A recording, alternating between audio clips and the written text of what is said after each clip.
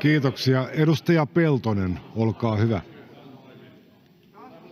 Arvoisa puhemies! Moni eläkkeensaaja on seurannut huolestuneena uutisia hallituksen kehysriihen ympärillä.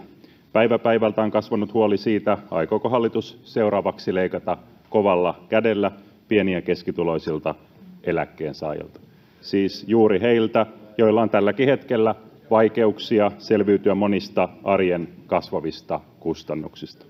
Liian usein hallituksen politiikan maksajiksi on laitettu kaikkein heikoimmassa asemassa olevat suomalaiset.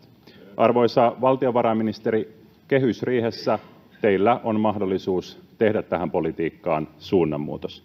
Jättäkää kaikkein heikoimmassa asemassa olevat, kuten pienituloiset eläkkeensaajat, leikkaustenne ulkopuolelle.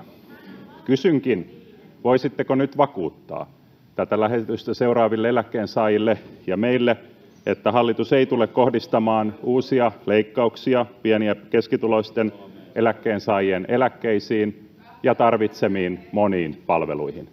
Kiitoksia. — Ministeri Purra, olkaa hyvä. Arvoisa puhemies! Olen tähänkin kysymykseen vastannut. En voi vakuuttaa enkä kertoa teille minkäänlaisia yksityiskohtia niin kauan kuin hallituksella on virallisia päätöksiä olemassa. Ja mikäli me aikataulussa maaliin pääsemme, niin tämä tapahtuu tiistaina illalla, jolloin me toivottavasti olemme maalissa ja kerromme nämä teille. Ja tietenkin kritiikki, jota jatkuvasti kuulemme, niin sitä teidän kuuluu antaa, mutta erittäin mielelläni vastaanottaisin myös ajatuksia siitä, miten te tämän asian korjaisitte.